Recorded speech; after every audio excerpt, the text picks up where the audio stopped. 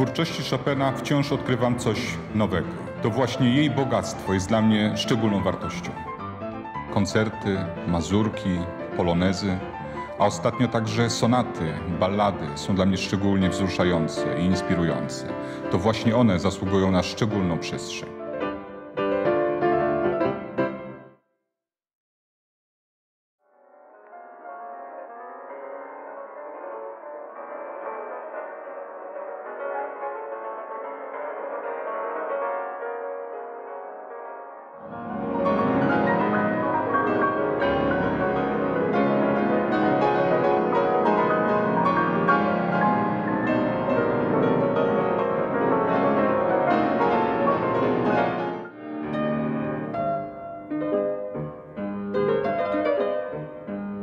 Ale nuty to za mało. Trzeba pamiętać, że Fryderyk Chopin to także człowiek żyjący w określonej epoce, żyjący w określonym kontekście, mający swoje pasje, zainteresowania.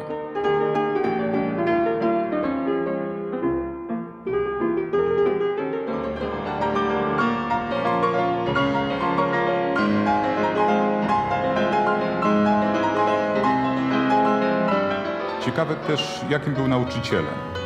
Czy był surowy, czy miał przyjaciół, czy był wymagający, czym żył poza muzyką.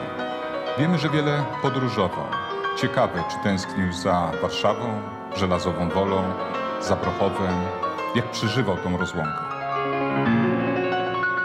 Ciekawe także, co odczuwał dotykając klawiszy instrumentów, czy odczuwał ich temperaturę i jak to wszystko przeżywał, czy miał gorsze, lepsze dni siadając przy fortepianie.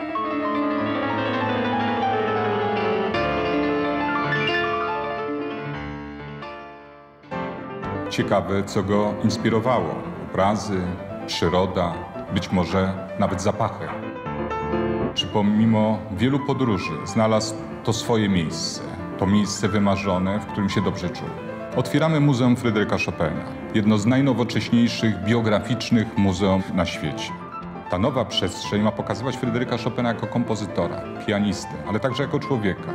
Ma pokazywać epokę, miejsca, w których żył Fryderyk Chopin.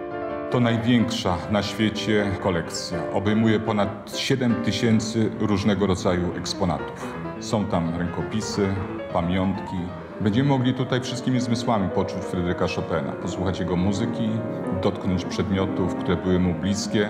Trzeba pamiętać, że to wyjątkowe miejsce, zaprojektowane przez włoskich projektantów z pracowni Migliore i Servetto. Ta przestrzeń powinna być współtworzona przez tych, którzy ją odwiedzają.